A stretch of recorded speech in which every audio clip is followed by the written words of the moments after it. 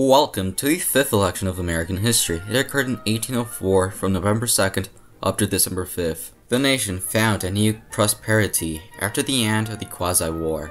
Incumbent President Thomas Jefferson had become extremely popular by 1804. Jefferson's main political issue was his vice president, Aaron Burr, who he had never fully trusted and had become the black sheep of the administration.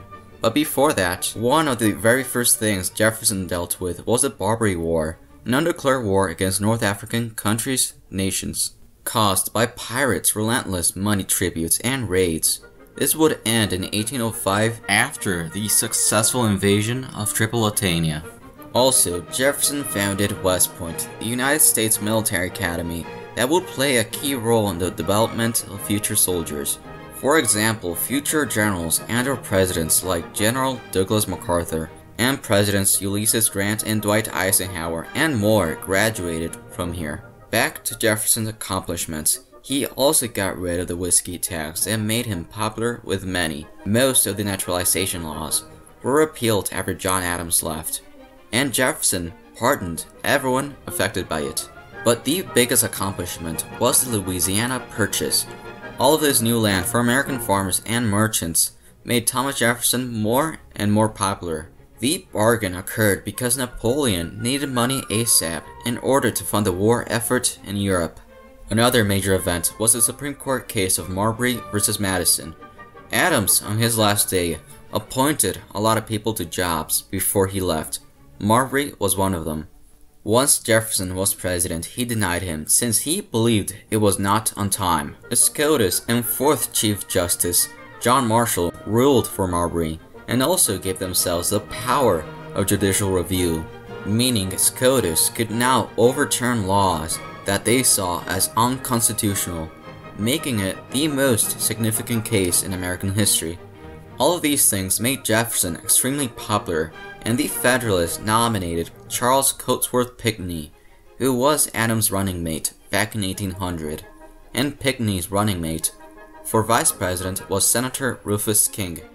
Rufus King, who was a founding father and famous New York and New England politician, while the Democratic Republicans, of course, nominated Thomas Jefferson again. But for vice president, instead, they nominated George Clinton, Aaron Burr was rebuked from his party and society after the Burr vs. Hamilton duel, in which he killed Alexander Hamilton. Dueling was already out of fashion back then, and when people heard of Burr's sin, many distrusted him and Burr was never able to get back into politics.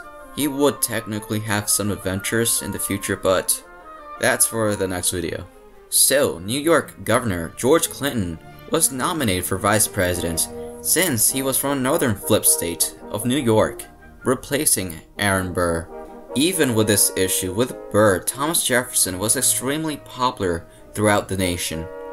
While the Federalists were free falling, and they still tried their best in 1804. And the winner was Thomas Jefferson, easily won, staying as the third president in American history. Jefferson won with a whopping 162 electoral votes in a landslide, and George Clinton became the fourth vice president in American history, while Charles Cotesworth Pinckney only got a measly 14 electoral votes. This election was smooth and didn't cause headaches unlike the other two previous elections due to the 12th Amendment being used, thankfully. In the Senate, the Democratic Republicans easily won in a landslide winning 25 out of the 34 seats, winning the majority with 18 being the minimum for it, showing how much things had changed. While for the House, Democratic Republicans easily won with a supermajority with 100 seats. Democratic Republican Nathaniel Macon, the first Southern Speaker, was the leader of the House and was the fifth Speaker of the House since 1801.